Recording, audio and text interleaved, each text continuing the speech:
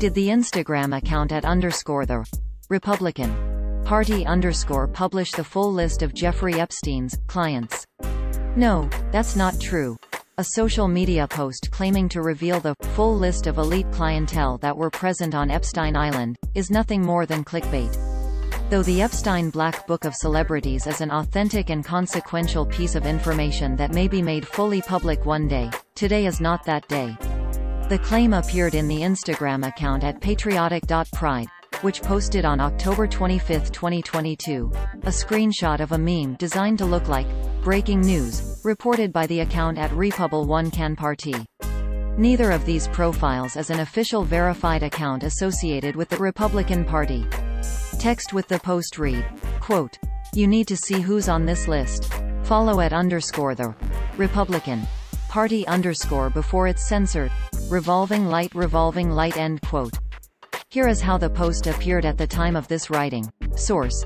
Instagram screenshot taken on Tuesday, October 25, 2022, 10, 25 21 hours 45 minutes and 18 seconds 2022 UTC.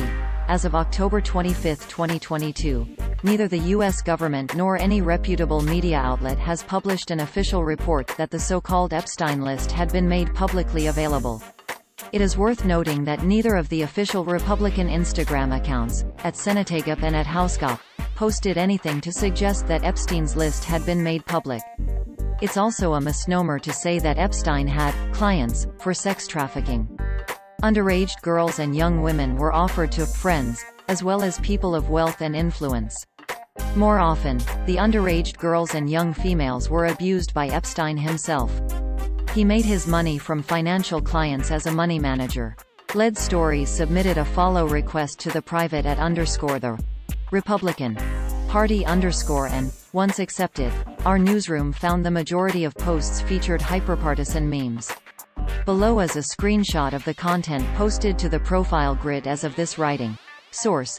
Instagram screenshot taken on Tuesday, October 25, 2022, 10, 25 21 hours 22 minutes and 21 seconds 2022 UTC. None of the above posts included information about Epstein's list. The most recent post, featured below, shared to the platform on October 21, 2022, included content that was completely unrelated to claims made in the Epstein post. Source. Instagram screenshot taken on Tuesday, October 25, 2022, 10, 25 21 hours 56 minutes and 9 seconds 2022 UTC.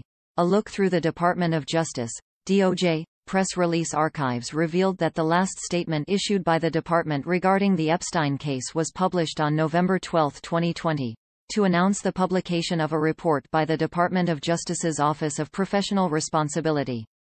Nowhere in that report was there any mention of a client list. Lead Stories contacted the DOJ, which is overseeing the investigation into the Epstein case, to ask when such a list might be made publicly available. We will update this article accordingly.